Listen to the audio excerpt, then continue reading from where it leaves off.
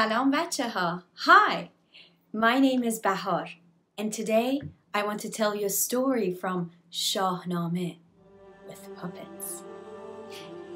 Wait a minute. What is Shahnameh? Well, I have one here to show you. Shahnameh is the epic book of the Persian kings. Shahnameh. Ferdowsi is the author of Shahnameh. Bachaha. It took him 33 years to finish this book. This is the largest epic poem done by a single poet. And it was written because he wanted to preserve the language, the culture, the myths, and the legends of the ancient Persia. So, the story that I want to tell you today with the puppets is related to the coming of spring and the celebration of Nowruz. I am sure you've heard about Nowruz, but shall we review it a little bit?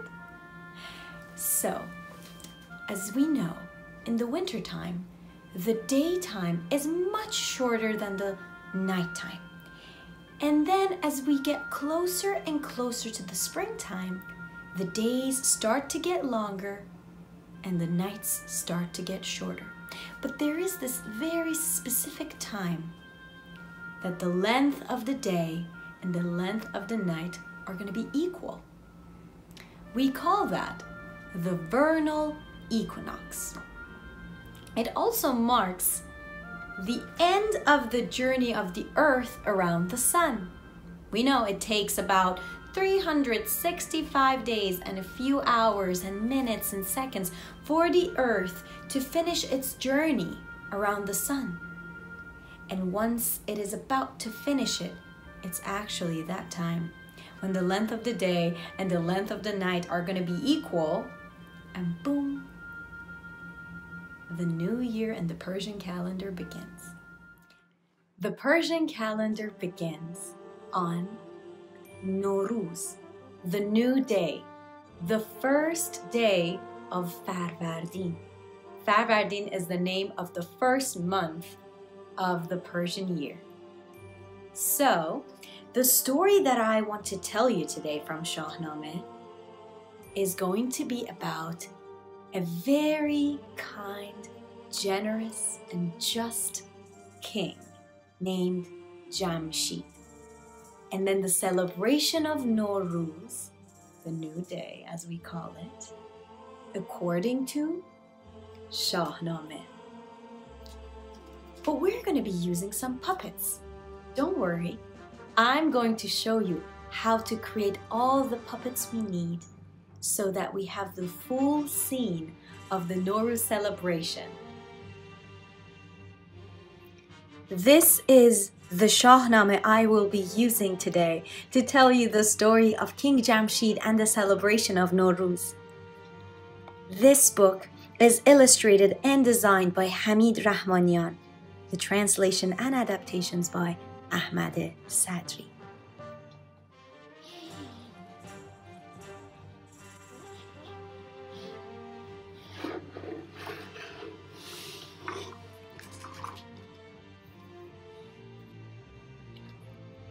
به نام خداوند جان و خرد که از این برتر اندیشه بر نگذرد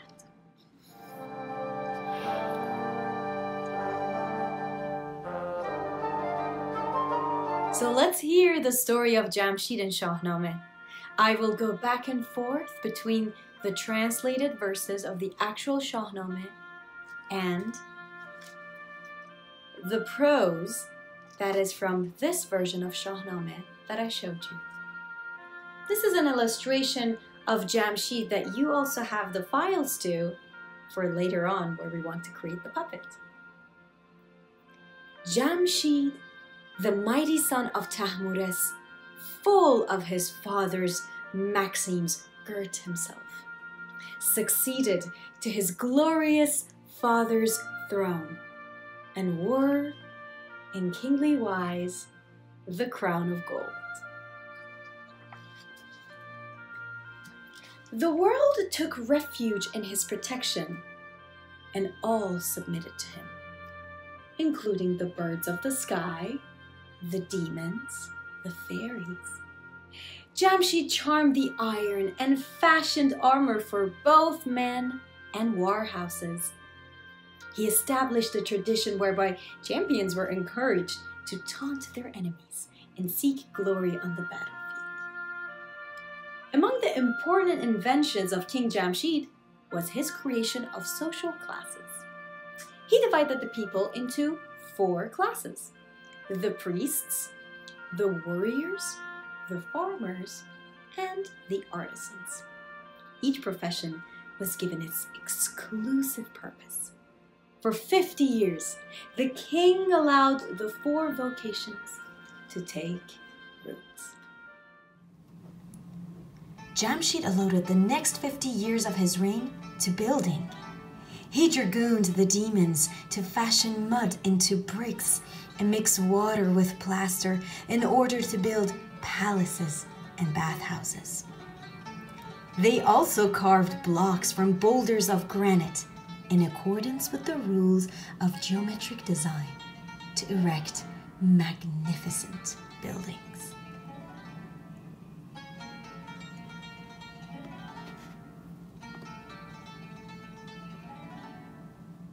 He searched among the rocks for stones whose luster attracted him and came on many a jewel as rubies, amber, silver, and gold. Jamshid unlocked their doors and brought them forth by spells. He introduced the scents that men enjoy as camphor, genuine musk, gum benjamin, sweet aloe, ambergris, and bright rose water. It was Jamshid who founded the field of medicine. It was he who built ships and crossed watery passages that separate the realms of the world. These labors that contributed to human civilization consumed another 50 years of Jamshid's reign. When all this was accomplished, the exalted Jamshid built a jewel encrusted throne with the aid of his divine sanction. The throne was held aloft by demons and fairies whenever the king wished. When his throne was lifted to the heavens, Jamshid looked radiant upon the sky like the shining sun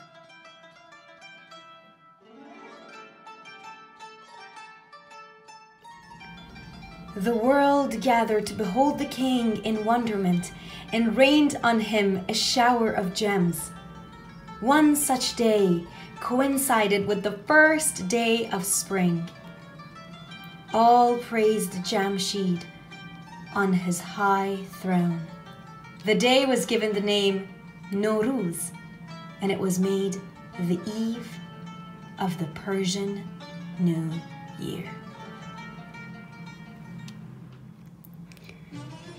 The olden kings gave us the gift of a peaceful holiday, calling for wine and musicians at the onset of spring. They forgave, they forgot, and drank their worries away. Thus, for 300 years, Jamshid ruled in justice and triumph.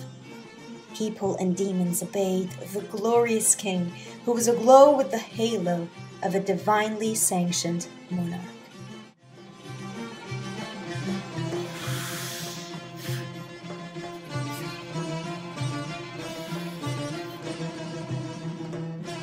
Now that we've heard the story of King Jamshid and the celebration of Nowruz, let's get to work.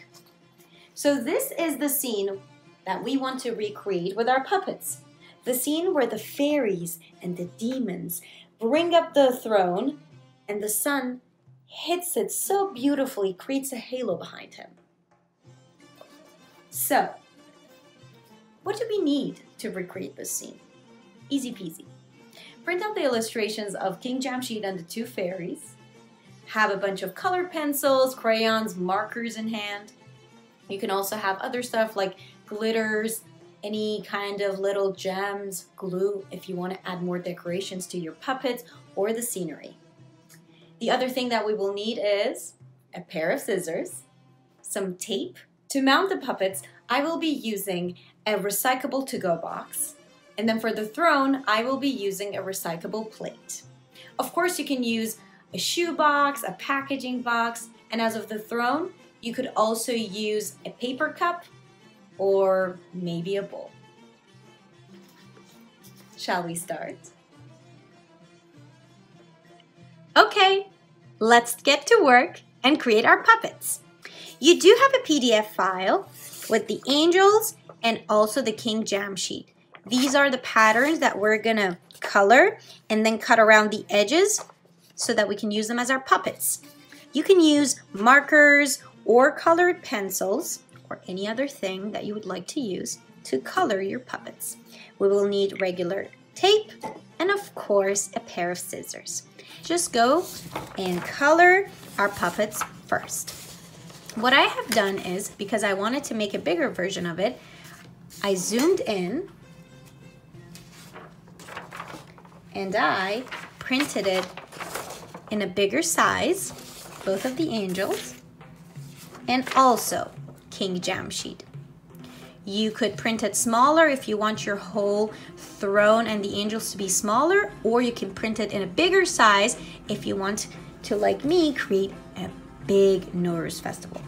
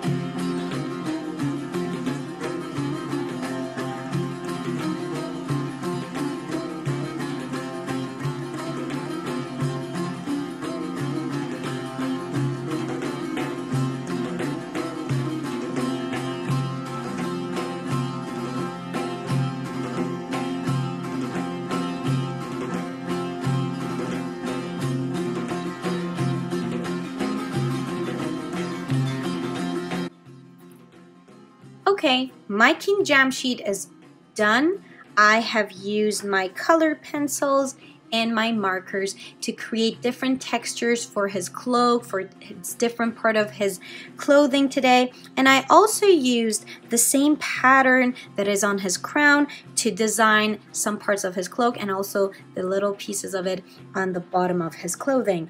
And I got creative with designing his cloak. You can do whatever you want to create a very glorious King Jamshid. Bachaha, the next step would be cutting him out of this piece of paper. I went all around the edges very, very carefully mm -hmm, to bring out my version of King Jamshid. Um, Jun, we are going to be using regular pencils and our tape to attach it to the, uh, to, to the back of our puppets and um, then we can basically mount the scene that I was telling you about. But wait, wait, wait. Don't do that to King Jamshid yet because I want to show you how he's going to be sitting on a throne and we will attach this pencil to the back of his throne and then put him on the scene we want. But now we should get to work and work on our angels. So I've used these two ones. So I wanted them to be two different sizes. So I use this one that is smaller and then the mirrored version of it bigger. So I wanted to create a little perspective in my Nowruz scene. Okay, so let's start and color them with our markers and our color pencil.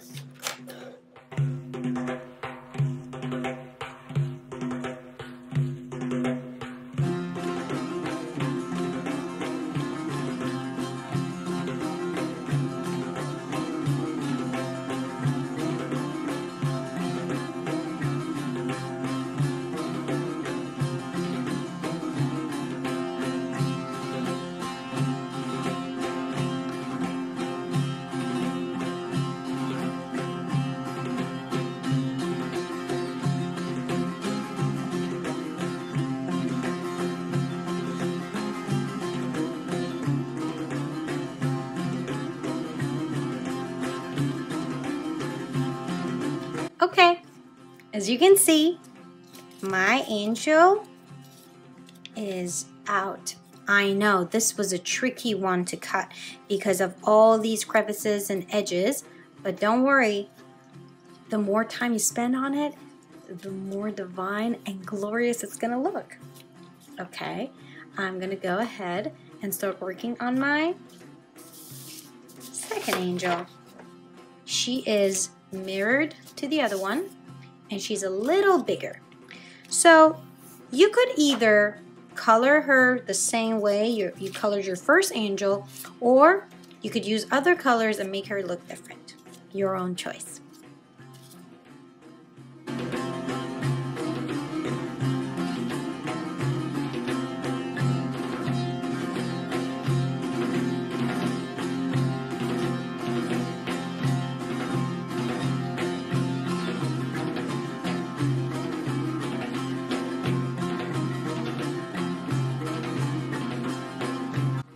I decided to color my second angel a little different differently but with the same color palette. I decided to keep the part of her wings white and I added a little bit of pattern and some texture. Let's cut her out.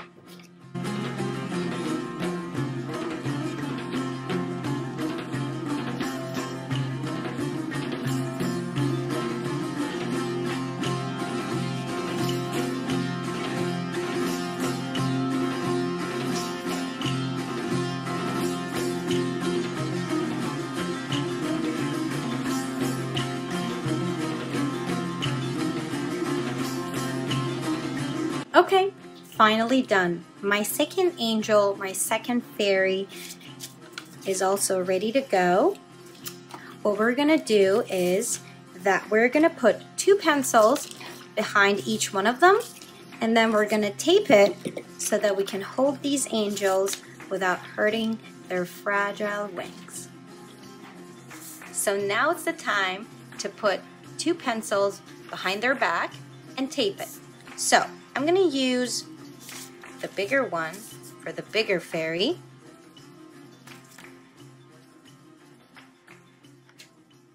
Take the tape. And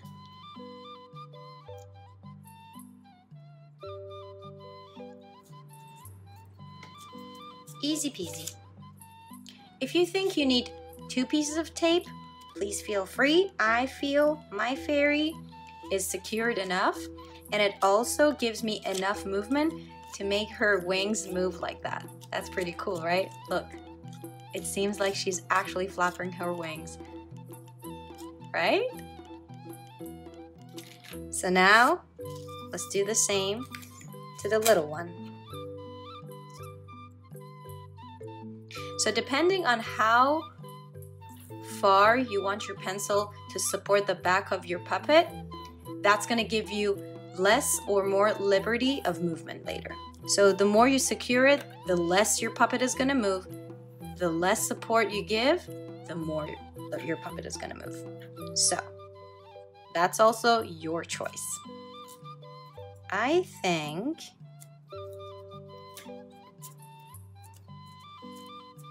this should be good. Well, you see, now this side of my puppet is moving more than the wings. So I can easily adjust where I want my puppet to move and where I don't want it to move. So if I bring it closer to her waistline, then I will limit the movement of down here and create more movement in the wings. Check this out. See? Now I have two beautiful angel fairies that are flapping their wings. Now we want to create the throne of King Jamshid. For this one, I'm just using a regular recyclable plate that this one is actually made out of wood, but you could also use a recyclable paper plate as well. So what I'm gonna do is I want to put King Jamshid right here so that this could be the back of his throne.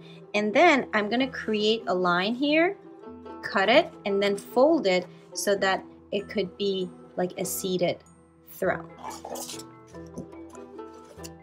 So let's say I wanna cut from here. I'm gonna use a bigger pair of scissors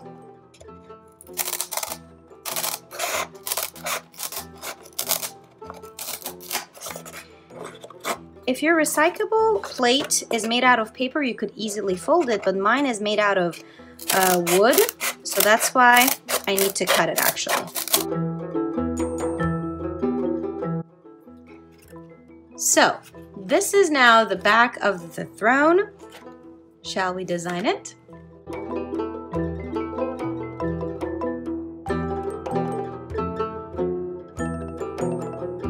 You could do whatever you want based on the material of your throne, based on whatever utensils you have. You can do and design the throne the way you want. If you have little gems, plastic gems, you could also attach them with glue because as you know, this throne was completely covered with a lot of jewels and a lot of very expensive and luxurious material.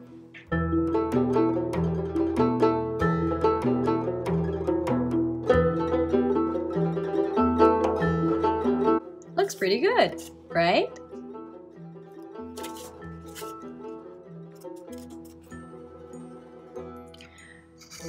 Remember we talked about when King Jamshid actually was lifted by his throne, then the glow of the sun actually reflected back and it created a beautiful scene. And later on, they said that he actually developed a halo because he was a very justful and kind king that he developed a divine halo or a glow.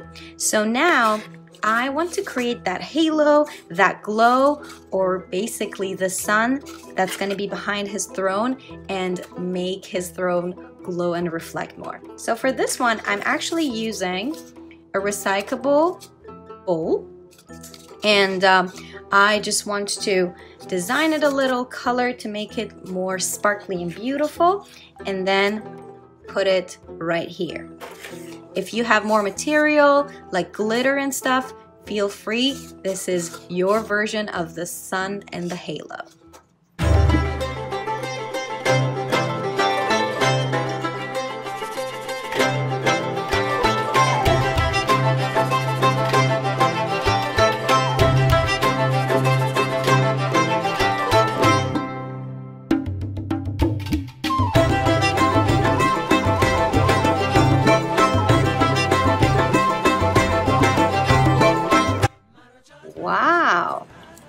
Look at this.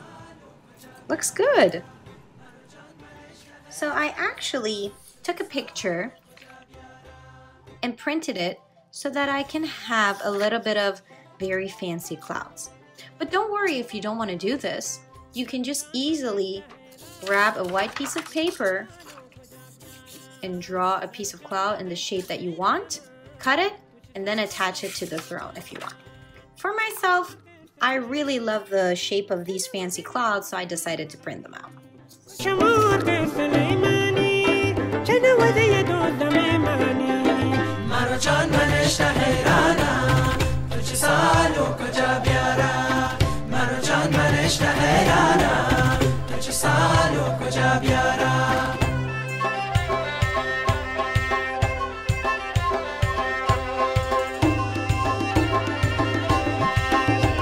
Okay, now it's the time to mount our puppets.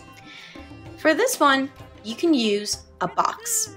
It could be a shoe box, it could be a packaging box you get in the mail, or a to-go box.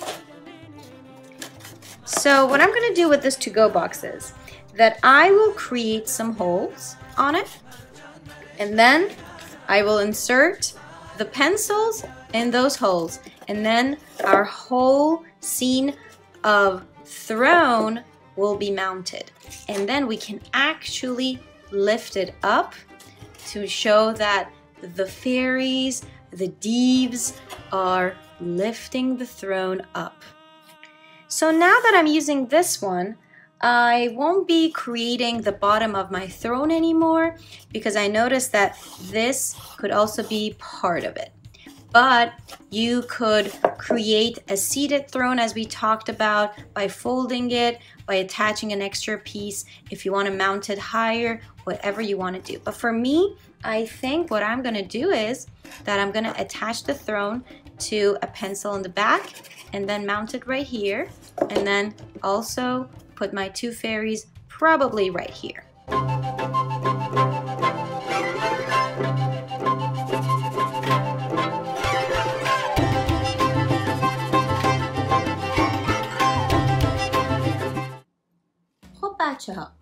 This is my box. Mm -hmm. And I've also started to add more clouds right in the front. You see the holes are already put in there. So now we want to go ahead and put the two fairies and also the throne of King Jamshid right there.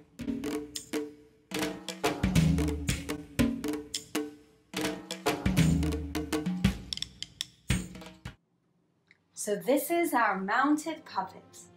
So, let's tell the story.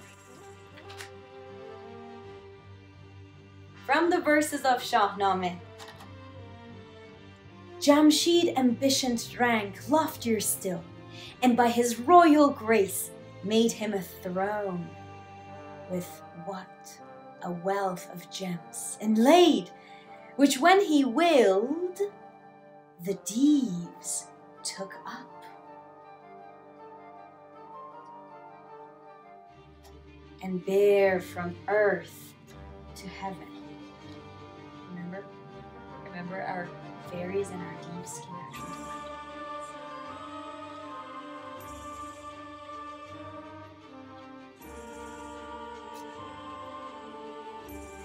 So when he willed, the Deevs took up and bear from earth to heaven. There, the Shah, whose word was law, sat sun-like in mid-air. The world assembled round his throne in wonder at his resplendent fortune, while on him the people scattered jewels and bestowed upon the day the name of New Year's Day, the first of Farvardin end of the year. I hope you have enjoyed creating the scene of King Jamshid on his throne and the celebration of Nowruz. And I hope that you have enjoyed one of the stories of Shahnameh. I wish you, your family, your friends, your beloved ones, a prosperous new year. Nowruzetun Mubarak. I am Bahar, and I wish when Bahar comes, your new year is filled with miracles, joy, health, and success. Eidetun Mubarak, Nowruz Mubarak, Happy New Year, and thank you for creating this with me today. Nowruz Mubarak.